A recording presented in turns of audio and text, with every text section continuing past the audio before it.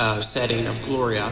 And the next piece you'll hear is The Wind, and it's composed by a friend of mine who's a colleague at Michigan State University. Speaking of, I love the green, it was a good choice. I don't know if it was St. Patrick's Day or MSU uh, inspired.